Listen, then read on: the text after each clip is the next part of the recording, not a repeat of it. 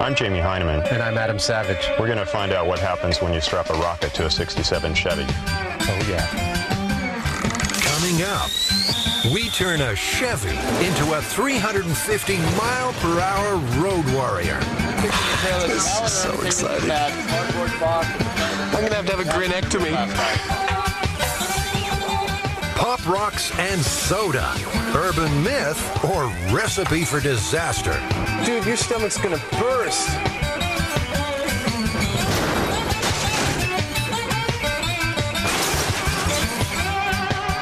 Here on Mythbusters, we're not just going to retell the stories. Small tip. We're going to put them to the test. We're prepared to put our bodies on the line. There's just one problem. Some aren't myths at all. Which one would that be? I don't know yet. So why should you trust these guys? Well, Jamie and Adam have over 30 years in model building, animatronics, and toy prototyping. They've worked in features, television, theater, and games. They can build just about anything, and probably have. This is M5, my special effects shop. Come on in and have a look around. Jamie's amassed an awesome collection of tools, talent, and uh, techniques. If we can't find it here, I'm trying to locate a pig's stomach. there's always Adam's eclectic collection. I come from the planet Butthead. Jamie and Adam are supposed to be experts in what's real and what's not. And they'll need every trick in the book. So where do we begin? What do we got? Let's go.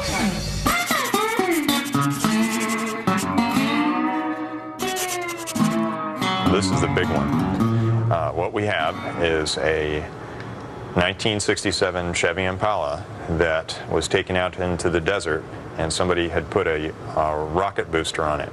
Now they found out about it because there was a smoldering wreckage that the highway patrol there found. We pieced together uh, a gentleman or an individual that had put a JATO or a rocket assist takeoff unit on an older model um, vehicle. The guy apparently was a, an Air Force sergeant, uh, former Air Force sergeant. He made sure he had a long straight road and there was nothing around. He got up to highway speed, about 80 miles an hour, fired the things off. The car had accelerated from like 80 to 300 miles per hour in a couple seconds. There was a curve in the road, a slight uh, increase or upgrade, and a mountain shortly thereafter. So he applies the brakes, and of course, the brakes burn out. They found about a mile and a half of skid mark. He didn't make the turn, he went airborne and he crashed into the side of the mountain approximately 100 or so feet up in the air. So do we have any corroboration of this or any photos or uh, anybody come forward? Well, that's our job to pursue that, uh, and uh, we need to get a, get a hold of a 67 Chevy or something close, as close as we can to it, and uh, need to get a hold of a, of a, a JATO or a RATO, uh, or, or again something equivalent to it. It'll look really cool. It'll look really cool. I mean, that's going to be big flame shooting out the back. It's going to be great. I can't think of anything more fun than doing this. No, you know what? I really can't. First heard about the story uh, approximately 1994 when I was, uh, my job was a spokesman for the Department of Public Safety. I received a phone call from a local reporter asking about a Darwin Award uh, that was on the internet. The way the story read was that the Arizona Department of Public Safety or the Highway Patrol was the ones that did the investigation on it. I thought it was a very real possibility that it could have happened because Arizona is home to several air bases. Thus, a, a military personnel could have gotten a hold of a JATO unit to use in this fashion. JATO, or Jet Assisted Takeoff, has been around since the Second World War. We should call them RATOs because each canister is filled with solid rocket propellant. A single unit puts out 1,000 pounds of thrust for 12 to 15 seconds. Up to eight JATOs are used when large military aircraft are operating with heavy loads or from short runways.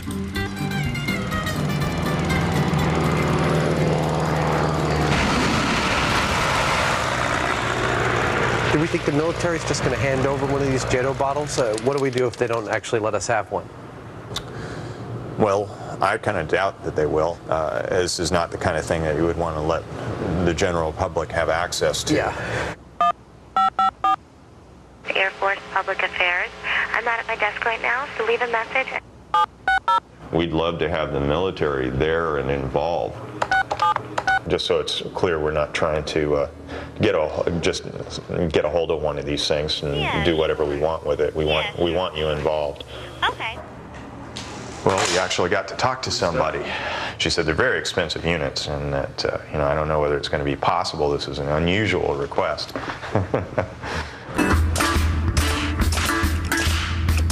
Most good urban legends have good details names, places, dates. In this case, often it's uh, a Chevy Impala that the man was driving. so we need to find a '67 Chevy. I wonder where we're going to do that. Well, uh, I picked this up at a flea market, actually. This here is a 67 Chevy Impala. That's our goal. Yeah. Hopefully, we'll be able to find a junker, something with a crappy body. All we need is for it to run. Not an Impala, we got a Pontiac. It runs. The Pontiac runs. Uh, not at the moment, it just needs the transmission on. oh. Yeah. Only? Yeah, but, you know. And a car not only is about survival, but it's also a symbol of adolescent freedom. When you get a car, you can leave the nest. We're going to be putting some uh, rockets on the top of the car and uh, setting. Oh, like off. the guy in the desert, the old Yeah. urban That's legend. it. So you want Exactly. it's a 72 Impala or 69 Impala you're supposed Yeah. to use. Yeah, everybody. We'll take anything that looks like, I mean, a Falcon within a couple of years. Something of that kind vintage, as long as it want it runs. Be- Don't care about. Uh, T-Bird? You want a Thunderbird? well, got got to be cheap. 62. Well, $750. That's let's have a look very at it. plausible. It's also um, a symbol of sex. This is where a young man can have his first uh, sexual experiences in this car. Oh, yeah. That's the sh- We're done. I'd be kind of ashamed to destroy it. We don't have to destroy it. oh, that's so beautiful. Oh my God, I'm loving this. Oh, look at that. Wow. Oh, those automatic windows. Oh, yeah. Is that your premise, though, to do that uh, urban legend? Yeah. Why? You should get a Chevy, because I always heard the story with the Chevy.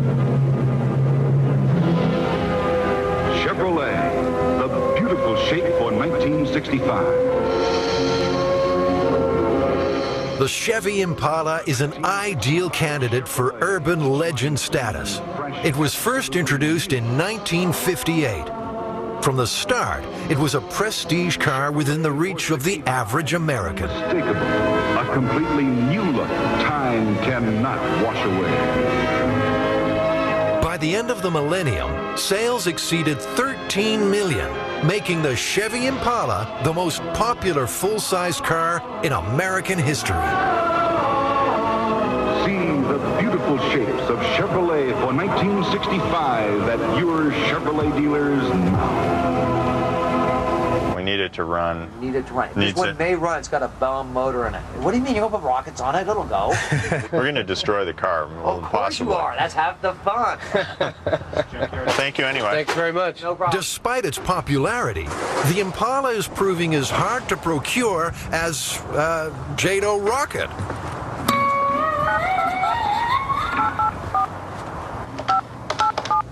We called you last week concerning uh, procuring a JATO. Procuring a JATO or a, a RATO. So far, we've had uh, we've had very little luck with getting anybody uh, to return our calls. All I want is a little cooperation, that's all. I'm Sergeant Bob Stein with the Arizona Department of Public Safety, and you're watching Mythbusters.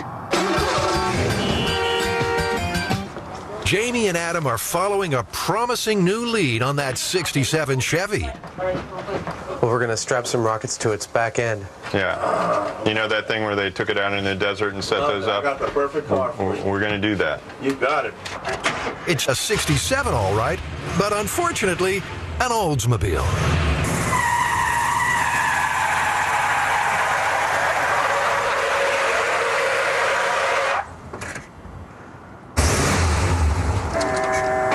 This is your car if you want a car to put a rocket on. She's fast. Just as we've given up hope of finding our car in time, It's officially an Impala. Would it be all right if I uh, drive it around the block? Oh, yeah. Oh, whoa, whoa. I got it, lady. it's a working 66 Chevy Impala with some decidedly non standard features.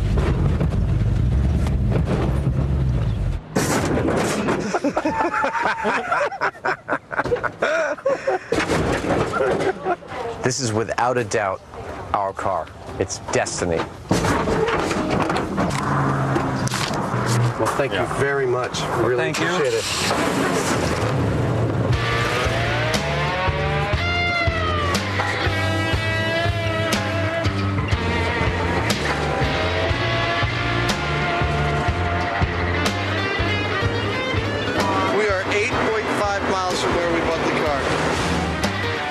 It's 100 degrees. We're three hours from the shop, and thanks to a blocked fuel filter, our rocket car is doing exactly zero miles per hour.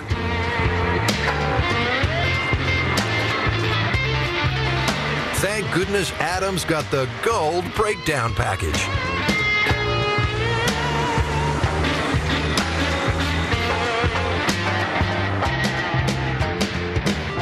So, the Air Force apparently called us back and turned us down on the JATO rocket.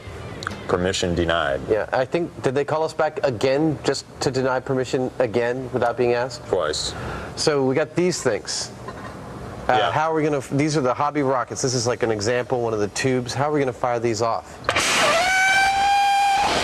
Well, these are actually more powerful than the JATOs. Uh, the ones that, you know, But the they're ones. smaller. How's that possible? Well, uh, we're going to use more of them. While they're running, they put out 1,500 pounds of thrust as opposed to uh, 1,000 pounds, but they, uh, they only last for four seconds. We're going to get several of them and we'll set them off successively.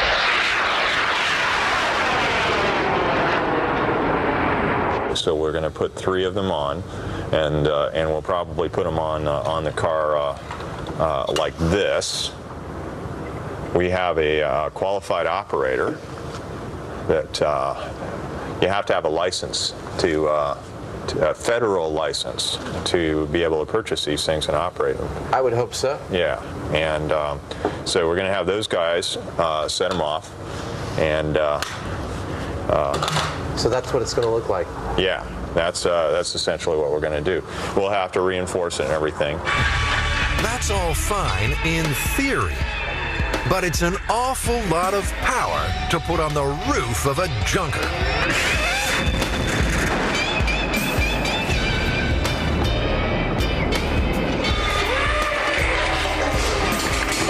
One pound of thrust is two horsepower.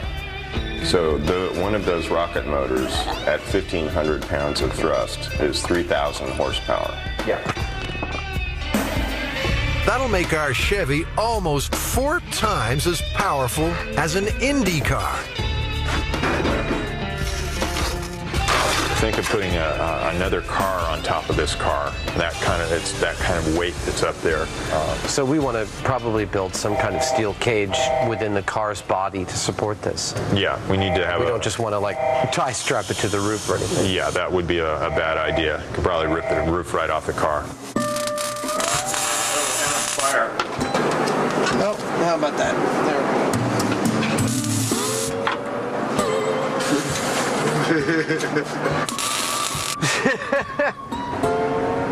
Adam, you're going to get sick. I believe I'm already sick. Give me the fire extinguisher. What the? This time it's no joke. The fire's burning through the hydraulic lines. That sawdust with the hydraulic fluid's a nice little kind of wicky thing. Wiki.